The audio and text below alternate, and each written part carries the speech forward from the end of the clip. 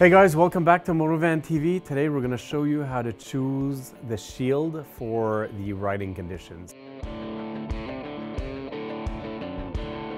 It's pretty straightforward. Basically, every helmet new, as you all know, probably comes with a clear shield. So clear, a clear shield uh, lets 85% um, of the light transmission, all right? So um, could be used anytime, but uh, once again, when it's really sunny outside, maybe not the best choice. So for really sunny days, you have the dark smoke, of course, which uh, lets transmit about 25% of the light. And uh, just before I continue with the, the other finishes, uh, just to know that usually uh, shields are UV protected. Um, yeah, so for overcast days, you have high def yellow, which uh, actually leaves 90% of the light through. And this is probably it's not the, the most popular choice, but it's actually one of the best ones for rainy days. Then after that, we have the, the Chrome series. So this one here is a Chrome Gold, we call it. There's also, which we don't have here, Chrome Blue, Chrome Silver. And uh, this lets about 24 to 30% of light transmission. So um, people will use this one actually because it, it looks cool, right? Um, with the, the mirrored finish. So uh, once again, um, very, uh, very cool choice.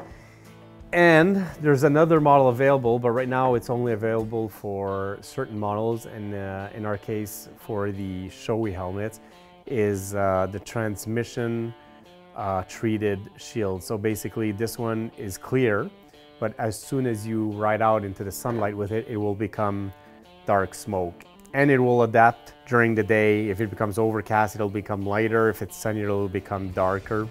So here we have a UV light, just to give you an example. And you could see that it changed to dark and it's pretty quick too. Uh, I guess maybe one of the next questions you'll ask is what happens if you're riding out in the sun and you drive into a tunnel? Well, the, the generations are so are so advanced on these that right now, that's why they're accepted now on motorcycle shields because the change will be done fast enough that it will not be dangerous for you going into a tunnel. So a question that I get often is, uh, do you need all of them? No, well, you know, the amount of all of these could rack up pretty quickly. So um, rule of thumb, my personal favorite is, of course, you, you have the clear. You need the clear, it comes with a helmet. Um, I always have a dark shield with me, so for real sunny days. And uh, that's pretty much it. If you have those two, you're pretty well set up. For all your shield and helmet accessory needs, please visit motovan.com. For more specific details on what we learned today, visit the tips page on motovan.com.